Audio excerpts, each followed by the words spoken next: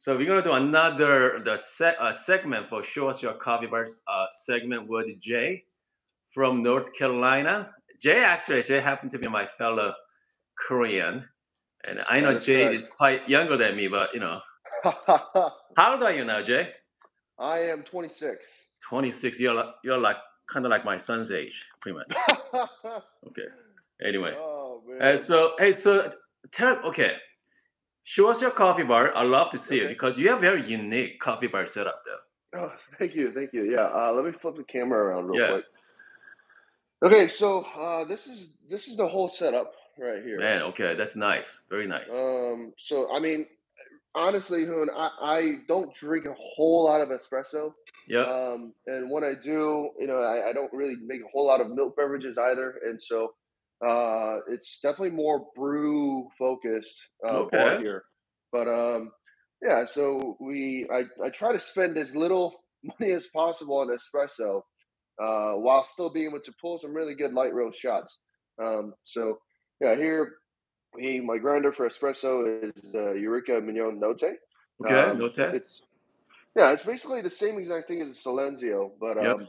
Um, yeah, just louder. And but I did a few modifications to it, like the uh, Yeah. dial adjustment um, for the scale for espresso. I have the Acaia Lunar, um, and a few other things here. Uh, the Easy Presto JX Pro.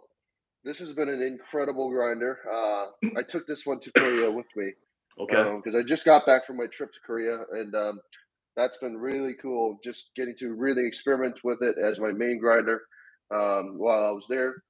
But yeah, and then it's just the Gaggia Classic Pro with a few uh, modifications. It's got the PID kit and uh, and the brew pressure gauge. Um, Okay. What else? I have the dimmer mod done to it, so I can actually play around with the with the brew pressure and whatnot. And um, yeah, low profile drip tray and uh, a few other small things. Man, But- Jay, that is a decked out though. Goodness. Yeah, I mean, this is as far as you can take a Gaggia Classic Pro, unless you I know. unless you So- go with like an Arduino mod. But yeah, So is that what aftermarket parts or there's something you made it? no. So yeah, all these are uh, parts from Shades of Coffee. Okay. Uh, I believe they're based out of the UK, and um, okay. Yeah, I mean they, they make everything. They they made uh, this low profile drip tray. They make this extended uh, purge valve. Um, yeah, I mean everything is basically plug and play, but PID it definitely took a little bit. But Yep. um, yeah, so Man, um. I mean, I, I think that's all you need comes to espresso wise, and that's pretty much that's good as get. right. I mean, know, yeah. I mean- so for under a thousand bucks, I'm really happy with the You could, yep. uh, the quality of espresso this thing makes, and so it's been it's been nice. Okay. Um, Yeah. but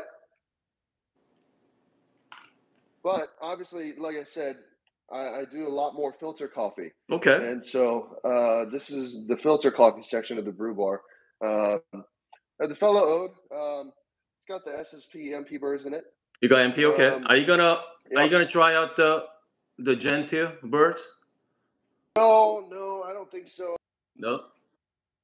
that if it's really worth trying out over the mp it's just really so so good Okay. Tons of grinders. Uh, the fellow ode with its super consistent RPM um, and with the MP burrs, I mean the, the cup quality is fantastic. So uh, Okay. I think going down, going to like a the, the Gen two burrs would be a bit of a downgrade. Okay, so- actually. So you got Um, Gen two. I got the fellow kettle there as well. Yep. Uh, fellow kettle, uh, it's okay. Um, I'm considering also picking up a Brewista just because, those, as you know, the flow you, you can't really fast Yep. with the with the with the EKG, and so um, some of the recipes are a little bit challenging with it, and so I'll probably end up picking up a Brewista as well. Okay. Um, that way I can really play around with some uh, heavier flow. And uh, here's some drippers. Um, we have the origami uh, Orea V3, which has been a has been my daily driver for quite some time. Um, the Kono, which is uh, new to me, I'm going to be experimenting with that. The Hario Switch, the V60 Mugen, um, and a few others. But yeah, actually, here's one more. but using this as like a decoration, it's it's a Kalita. that's that's cool. That's cool. Yeah, yeah. So Jay, uh, so I have no luck getting the Orea V3. Okay, they're all sold out every ah. time. Yeah. So how do you like it? I mean, what do you like about the Orea V3? So uh, this is where things get a little interesting. Let me uh, yeah. let, me, place you back here.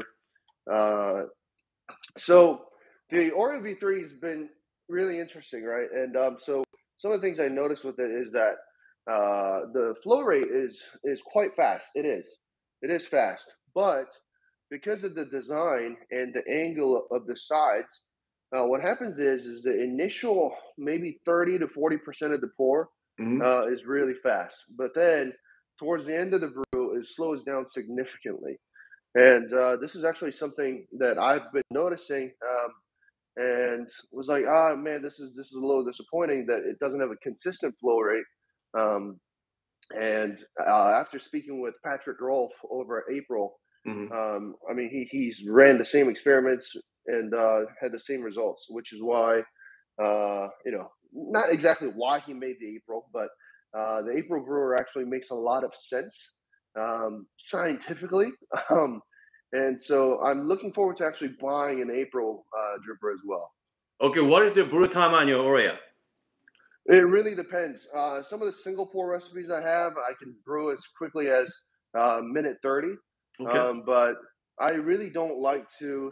I don't. I really don't want to go over two thirty uh, for my TDT. So uh, that's kind of the the sweet spot. It's right around. So I mean, that's why since I since I didn't have an Orea, because uh, I'm because I got everything but the Orea pretty much. Gotcha. And so I got my Tricolate Okay, as you know, have, have you tried yeah. Tricolate yet? I, I have not. Um, okay. I've seen what you've been doing with it. yeah, yeah. Because since I don't have fast brew, so I've been using yeah. my Tricolate as kind of like you know because I want the fast brew time. Okay. Yeah. So I mean, it's been worked out great, and I I use that with the Melodrip, uh, Melodrip Lift as gotcha. a combination. But yeah, so so so Orea, I want to try, and also I found this wonderful, the little brewer, okay, from AliExpress. Okay. Okay, AliExpress is coming hopefully next week.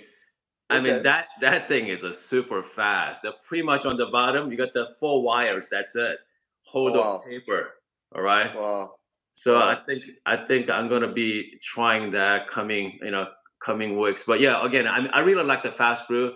I like between like two, two and a half is my max. Okay, I like to be around two minute mark there. So I feel like the give, uh, giving that very sweet, well balanced cup. So yeah, you know, uh, I've also played around with uh, faster flows and whatnot, um, especially because I really enjoy light roast coffees, right? And um, so uh, I, I, don't really want the coffee to be in contact with water for a really long yep. time. But but something I've noticed is that uh, when you when you use such a fast flow rate, or when your contact time with water and coffee is reduced so significantly, uh, you're missing out on quite a bit of complexity.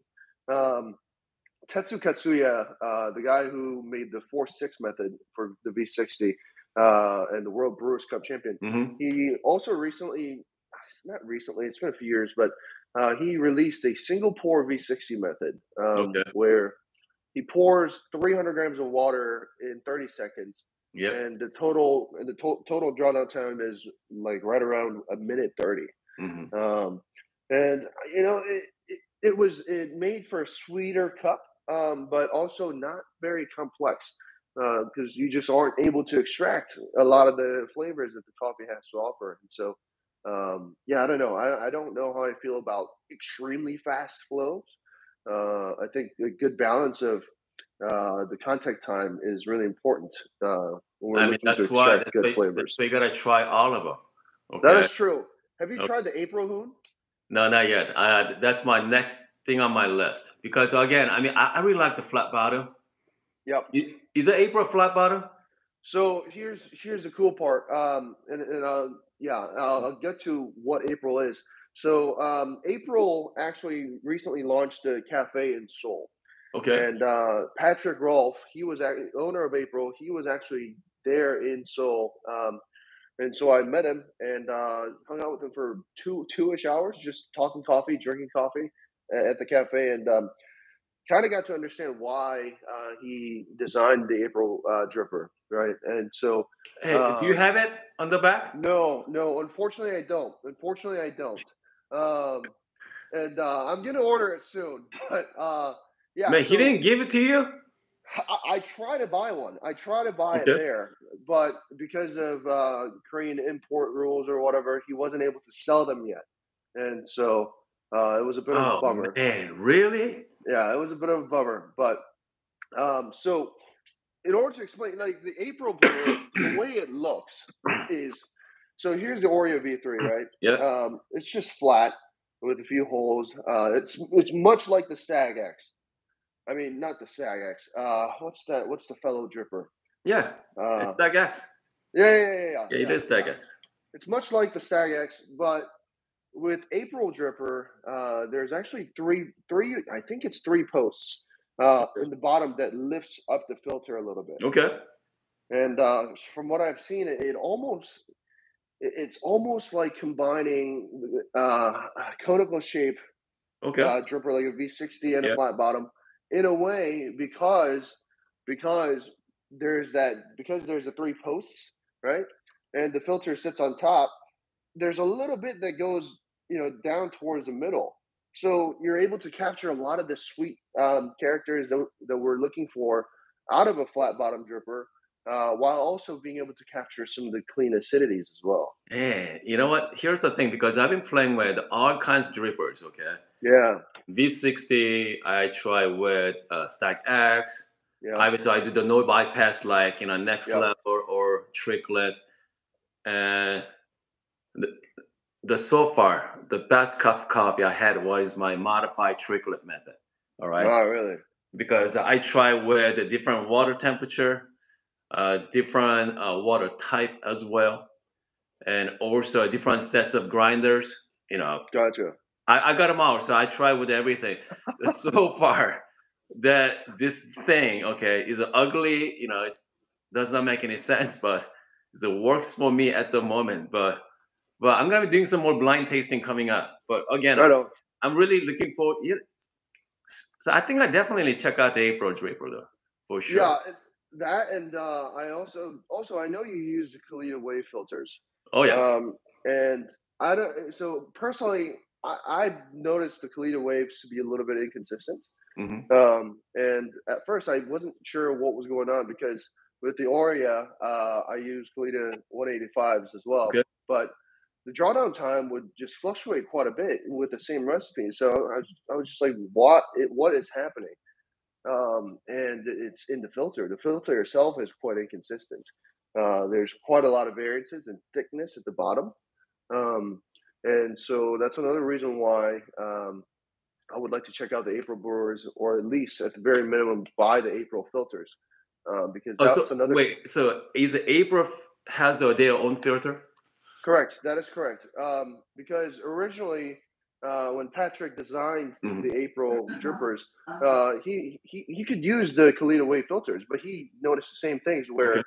the wave filters were just inconsistent. So uh, he went ahead and just designed his own filters uh, that are incredibly consistent. And so, So, so it's not a wave then, right? It's more like it flat. is.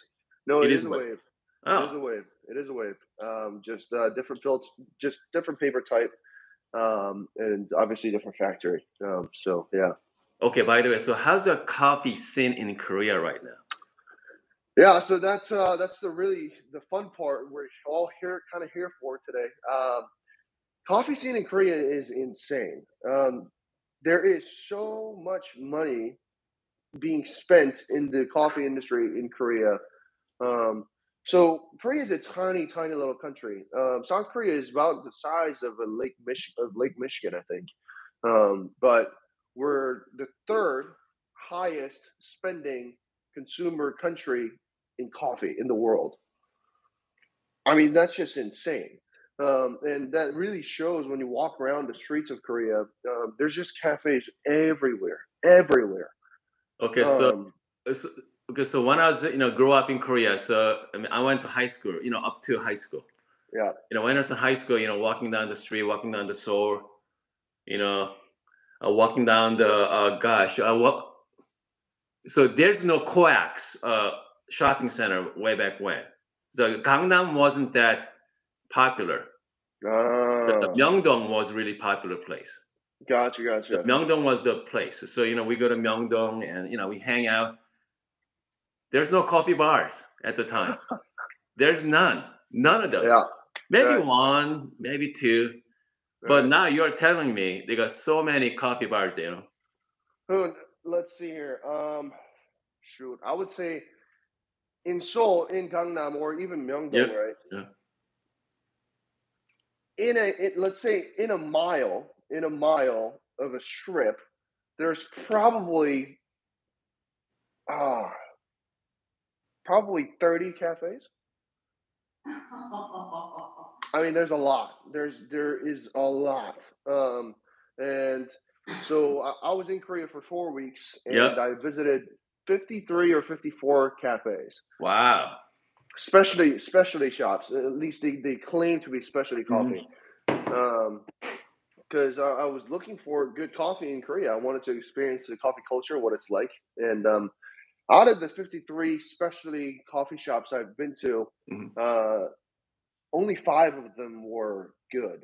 Oh, really? Uh, only five of them I was I was impressed by. Um, now, granted, I I have a strong preference towards light roast coffee, mm-hmm. and um, in Korea they don't. The concept of light roast coffee is is uh, very very new.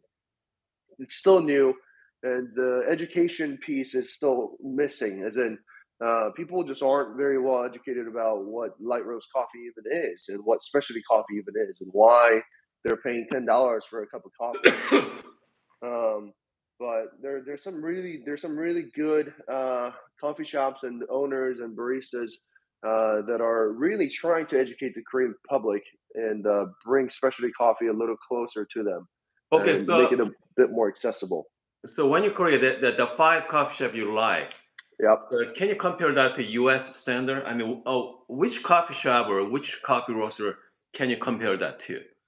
Uh, so there's there's no large roasters in Korea. I mean, they're they're they're they're large, but yeah, um, nice small. I mean, yeah, yeah, we could compare them to uh we could compare to as as as far as the kind of the taste of the coffees go. Um, uh, man, um, Onyx. Who, which one? Onyx. Okay, Onyx. Uh, what about uh, okay? So you got Onyx. Does they do really good work? How about Sey Coffee? Have you tried Sey Coffee yet? I have not. Brian's been kind of on me about trying Sey Coffee, okay. but yeah, I'm gonna I'm gonna give Sey Coffee a shot. But yeah, Onyx uh, a lot like Counterculture actually. Uh, Counterculture's yeah. uh, light roast coffees are, are, fantastic. They're one of the pioneers in the specialty coffee scene here in the states. Uh, I mean, obviously, black and white coffee roasters, uh, my local favorite. Um, but yeah, I mean, some some of their coffees are really up there in Korea. Um, but I will say there a lot a lot of the Korean specialty coffee roasters are purists, and so uh, they they don't really chase crazy flavors, right? Uh, that that we that we in the specialty coffee world have been seeing um, in processes, right? In different processes, uh, we're adding microorganisms, we're mm-hmm. adding, we're fermenting with different things.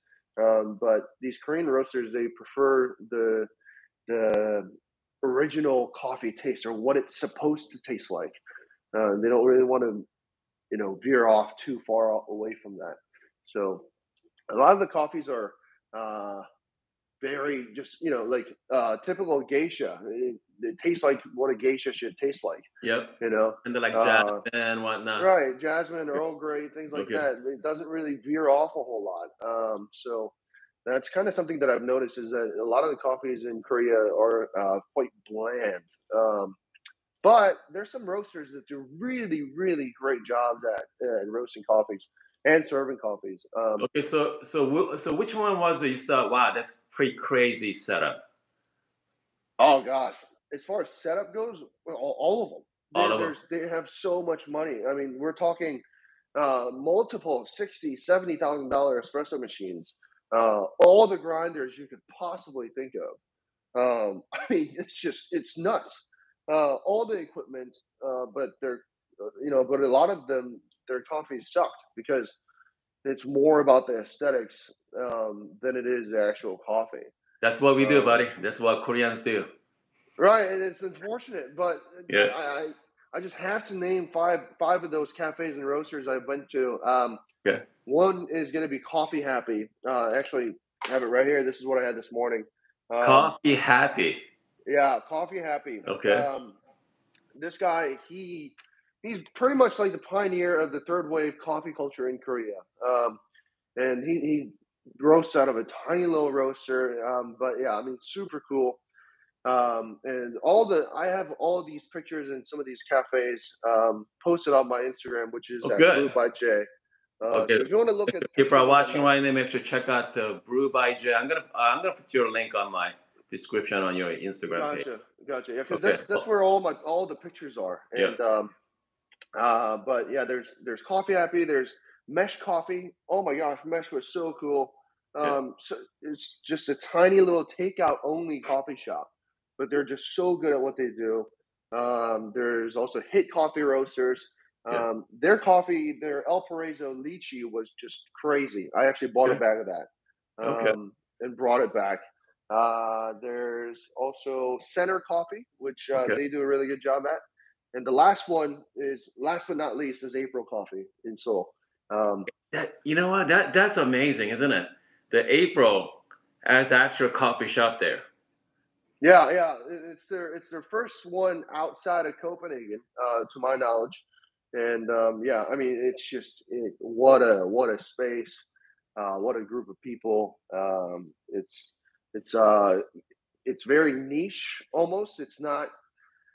They're not. Uh, to me, my experience with April was that um, they're not very open in in terms of um, what what they do is what they do. They don't want to veer off, veer away from what they do. And, you know, their philosophy is so incredibly strong, and uh, they're really they're damn good at what they do. So uh, it was it was a really cool experience there.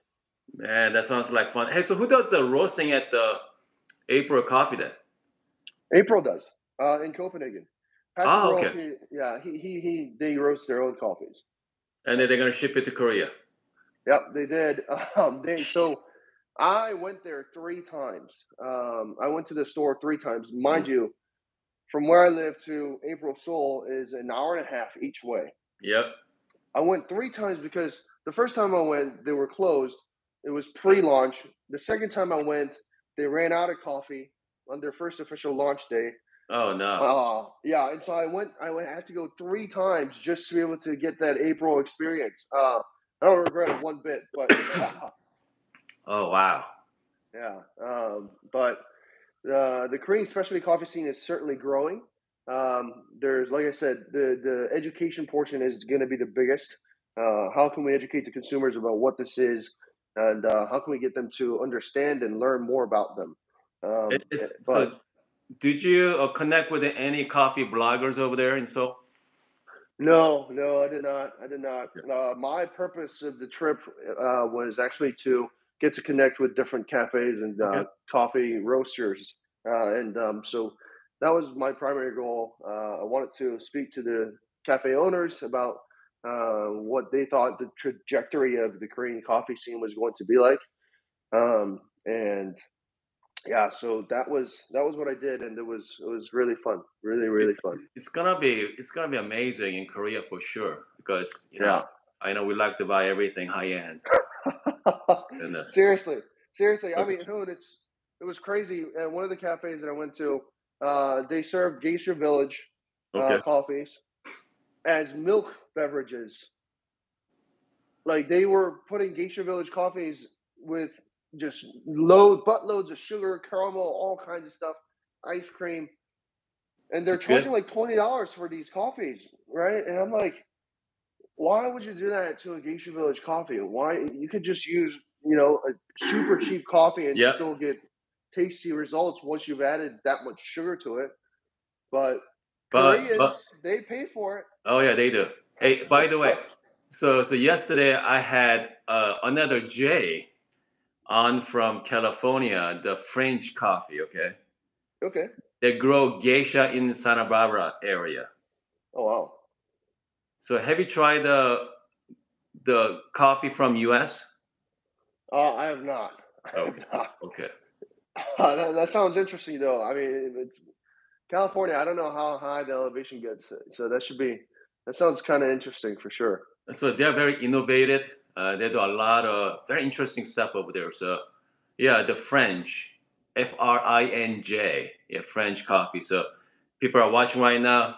Make sure check uh, check them out as well.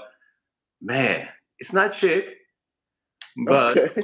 so so how's the coffee price in Korea when you were there? What, Uh, the cup cost?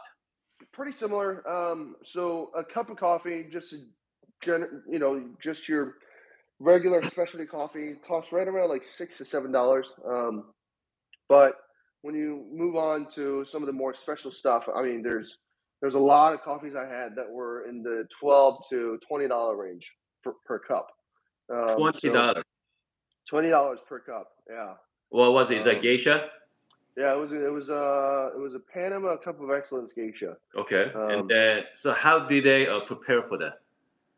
So that's the interesting part is a lot of the coffee shops in Korea they, they they're still brewing like we're in the second wave, you know, coffee coffee culture is it uh they're they're using the Kalitas, right? Not the wave, but uh the, the, the cone shaped Kalitas with super restricted flow.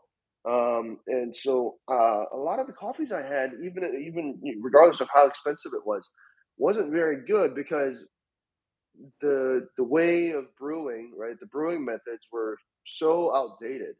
Um, it's like coffee's evolved so much, but the brewing methods in Korea are have just been kind of here, so it, it can't quite catch up. So, So, so you, you was somewhat over extracted? somewhat somewhat over extracted, and in some cases under extracted as well, because uh, I mean it's just they don't grind very fine. A lot of them grind very very coarse, very coarse, even for light roast coffees. Um, and so that was something that I was quite disappointed by. Um, but yeah, I mean it is what it is. You know, um, the the a lot of the OGs, I guess, of the coffee industry in Korea, uh, they're not they're they're not they're very they're quite stubborn. So they're not looking to learn new techniques. They're not looking to buy new equipment. I mean, we're talking they they don't even use temperature control kettles at these cafes where they're charging 15 20 dollars for a cup of coffee. So, uh, Um, what kind of water are they're using? Just to boil? I mean, you know, the, especially you're using the the brewing, the light roast. You want to use the boiling hot water. Okay, period. right. I mean, You yeah. know, I mean, Uh, from Exactly. that, but but you know, medium to dark. Yes, you you want to be somewhat temperature Right. control, but uh, especially lighter roast, you need that initial heat to you know extract the all the flavor out. But man, uh, what about grinder? What kind of grinder they're using over there? everything you name it, they have it. Uh, everything from Bentwood, uh, EK43s, a bunch of Mahlkönigs. Uh, I actually saw an old school Mahlkönig Guatemala still in action in one Wow. of the shops. Um, I mean, yeah, seriously, you name it, they have it. There is so much money in Korea. In I mean, since, uh. Since the SSP is in Korea, so I bet you they got some really good burrs for sure. So actually, that's uh, really interesting that you say that. So uh, the the Lab Sweets from Ditting, Yep. uh, the 804s, um, they used to come with Ditting burrs, um, but the newer versions, from what I've heard in some of the at some of the Mhm. cafes, uh, they're actually using SSP burrs from factory. really? That's what I've been told by a few cafe owners. Uh, is that they wanted the old school Ditting Lab Sweet burrs Yeah. in it, but in Korea, uh, they they get they come stock with SSP burrs Is what I've been told. But how much truth is there? I, you know, don't know. Uh, who knows? I mean, I mean, ju- I mean, just, just like my EK, you know, EK forty three, I got the SSP, but they designed from the 2015 EK forty three, the pre to 2015. So get the geometry there. So Yeah, who knows, All right, But right, right. It's but I think it's all about the burrs too. But you know what? The learning new technique for brewing, man, you you gotta willing to try everything. You know what I mean? Right. You gotta you, you got to use the same bag coffee. Yep. Try with V60, Kalita, April, doesn't matter. Just try with everything. Come up with your own recipe, and then you gotta duplicate that day after day after day. True that. And I think I mean that is the that is the hard part, you know. Right. But I, I don't know how they're gonna do it, but I think that's why I think that it's just like like X Bloom, right? The X Bloom. Did you get to play with the X Bloom with the Brian when you were there? Uh, Unfortunately, not. Uh, Okay. We were just tasting different coffees, hanging Okay. out. Um, yeah, I mean, I, I'm also not exactly the the the target audience for X Bloom either. No, no. Although, I mean, although no. my mom, although my mom's backing the project, um, but yeah, not me, but my mom is. Uh, my my mom, I think, will really enjoy it. But uh, anyway, yeah, I mean, I, I did get to speak and uh, speak to Richard, the CEO of X Bloom, uh, and I mean, what a what a great what a great group of people that are really working together to make specialty coffee more accessible to the general public.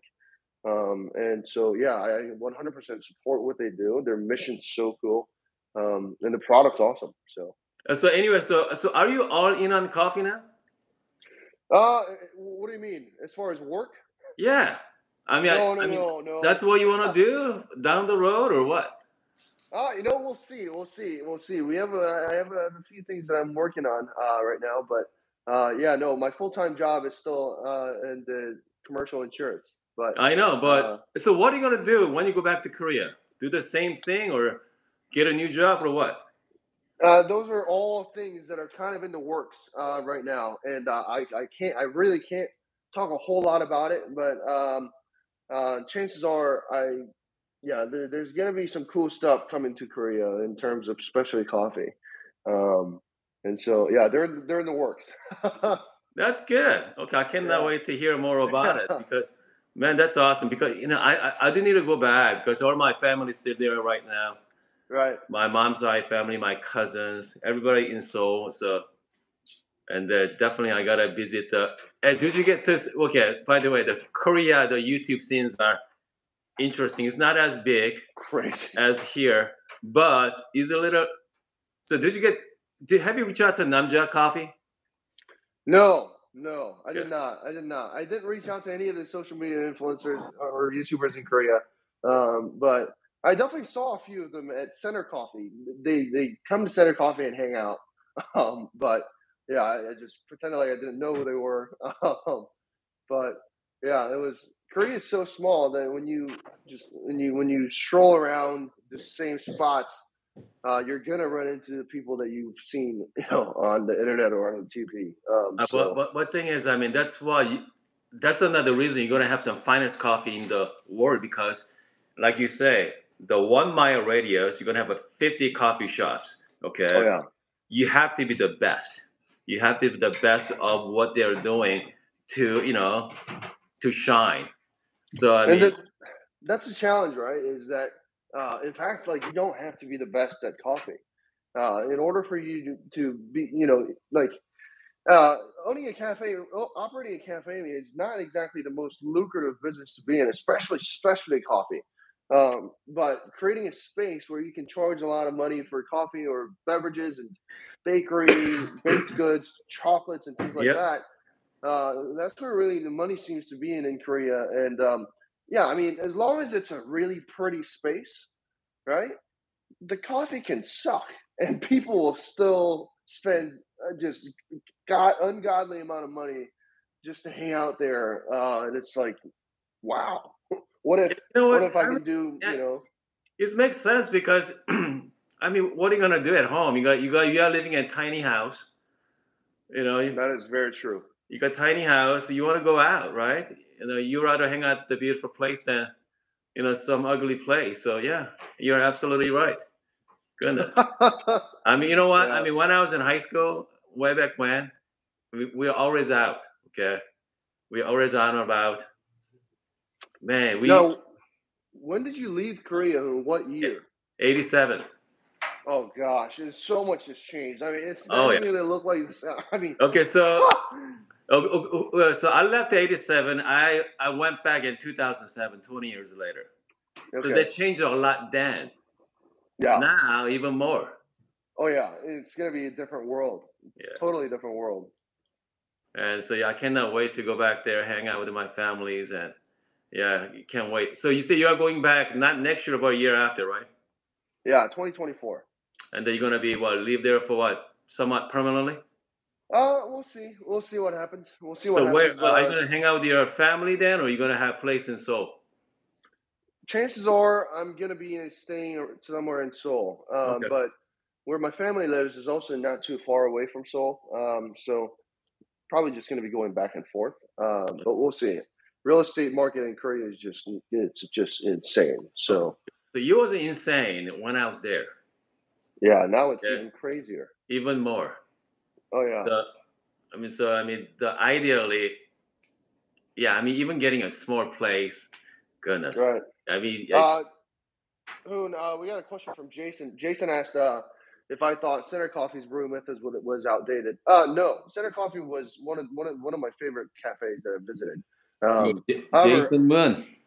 yeah. However, I will say, Jason, uh, I'm not a big fan of immersion brews, and uh, they use the clever drippers. Um, not a big fan of the clever drippers. Uh, I mean, not a big fan of the swish either, to be honest. Uh, and so that's that's really the only gripe I've had was just the brew method. But no, I've had some incredible coffees at Center Coffee. Been there three, four times while I was in Korea. Um, great atmosphere. Everyone's so professional. Um, yeah, they're really good at what they do. Uh, one of one of the very few uh, great cafes and specialty coffee shops in Korea for sure. Center Coffee. Oh, Yeah. Okay, so so which okay, so which brewing method are you looking forward to using it? As in, as in, what brew method do, do I want to use? in Yeah, future? want to use since you don't have Uh, right what the April? Uh, yeah. Okay, uh, for sure April first. For Okay, sure, the April. Um, but yeah, I mean, I, I have I have a lot of them, um, and so you know, April I think will be my next one. Okay. Quite possibly the last that I buy for a while, because as you know, even even with just a simple V60, right? Even with just a simple V60, you can make so many different profiles of coffees. Um, now, is the is the V60 the easiest to use? No, you can No, make no. terrible coffee with it. But uh, once you kind of get the hang of different recipes, I, I think that I think a lot of people just go out and buy so many different drippers, thinking that buying a different dripper is going to make them better coffee. But I mean, it's just not. It, I mean, until yeah, and so that's another reason why I haven't picked up the April yet because I'm still learning so much about the Orea, um, you know, and so yeah. Uh, I you know, think, you know, uh, I mean, the the B, I, the B sixty is I think the simplest to brewer and also most technical brewer out there. Okay, most technical because people are watching right now. I mean, average people B sixty is easy, right? Just put the Mhm. coffee beans in, put some water, and that's it. So you're gonna get a good cup of coffee. But if you know how to brew that B sixty, you're going to have some incredible coffee you ever had. Right. But the techniques it takes months and years to perfect it. True So that. True that. because uh, the, the funny thing is, uh, so I did my Brewers Cup, the prelim, okay, Mhm. uh, a couple months ago. So the the Yudi, uh, she won that event, okay. She used the she used the exact same coffee as I did, but she used a Simple V60. I bring out all my tools, okay. I bring my I throw everything out there. I got my Tricolate with the modify, Melodrip, everything. Great coffee from mine. I think I got a like 78 points on my score, okay? And the Yuri was doing the V60. I think she got over like 80 something. Mm. So, okay. So, unfortunately, I did not taste her coffee, but I thought my coffee was good with my brewing device. But she's, again, it's all about the operator, all right? It's Yeah, all about the yeah. operator. So, I mean, if you know what you're doing, you know, you don't you don't have to spend a lot of money on brewing device. just spend what ten bucks for V60, right? Ten or fifteen Yeah. bucks. True that. True that. That's all you True need. that. But Yeah. I mean, most of us we want something simple but give us good coffee. That's why people are coming up with a different device to make us easier. You know. Yep. Which, by the way, who uh, uh, speaking of V60 and easy recipes, uh, Lance Hedrick, uh, he he his V60 method. One of them is a Uh-huh. it's just a double bloom, two blooms, and then uh, just a blast of 160 grams of water, something like that. Is that good? Uh, Have you tried it? Really good. Really Okay. good. Really good. Very easy. Very consistent. Uh, it's actually very similar, actually, in many ways, to Hide Izaki's V60 method, Okay. which is uh, two blooms, 60 grams, 60 grams, and then 180 grams of just basically a blast at high flow rate, uh, high high height from spout to the dripper as well to really kind of disturb the coffee bed Did you get- completely. Yep. Um, which actually he made that Hide Izaki made that video at Center Coffee in Korea. Um, Really? yeah, yeah, yeah. He, he made that video in, at Center Coffee. Um, so, uh, but yeah, there's V60, one of my favorites for sure. Sounds good. Okay, So, so what's the plan for this weekend? Are you planning on visiting any coffee shops? Yeah, so I'm planning on going back to Fount actually. Uh, Fount, I, I I've known about Fount, but I just never went um, Okay. because one, I mean, I, I basically have everything I need here, you know, and uh, uh, it's actually just more cost effective to buy twenty five dollar you know bag than to spend ten dollars on a filter coffee. But Yep. it's still sometimes nice to just sit down in a nice, cool place and uh, have coffee made for you by a professional barista. Okay. But uh, yeah, Fount coffee in Morrisville. I think it's in Morrisville in North Carolina. Incredible space. Uh, people there are so nice. Has- Uh, makes so, how's the coffee scene in your your area? It's pretty good. I mean, I, it's arguably arguably one of the best in the whole United States, and uh, arguably one of the best in the world. Um, You think? have- really? Yeah, I I mean, I'm I'm quite spoiled by living in Okay. North Carolina. Um, I have I have counterculture here, Okay. uh, which is who are one of the OGs in the specialty coffee scene. okay. Uh, I have GH.